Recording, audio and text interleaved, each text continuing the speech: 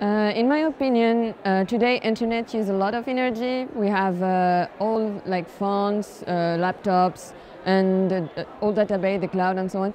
It uses a huge amount of energy, so I think the key issue today is the environmental issue.